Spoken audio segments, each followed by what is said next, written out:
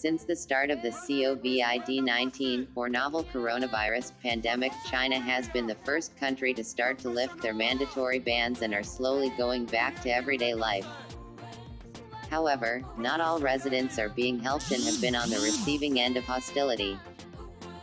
News broke last week that African residents and African American tourists were facing discrimination from locals, being barred from restaurants, and even being evicted from hotels, forcing some to sleep in the street.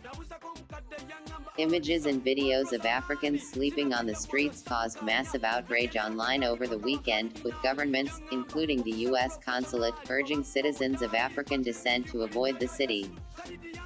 Now, some public figures want to step up to protect Africans abroad.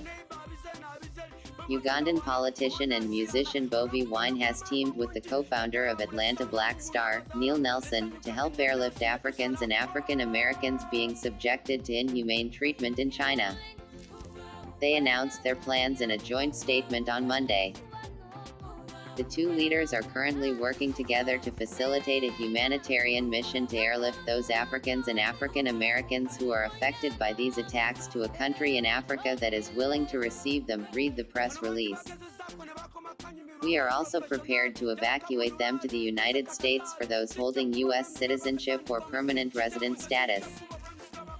Wine also went on Twitter and Instagram to announce his new partnership. In the statement, they mentioned they appealed to the Chinese government and other global African leaders to take urgent action to protect Africans abroad. We call upon leaders from across the global African community including political leaders, social activists, artists and other leaders to join in this effort.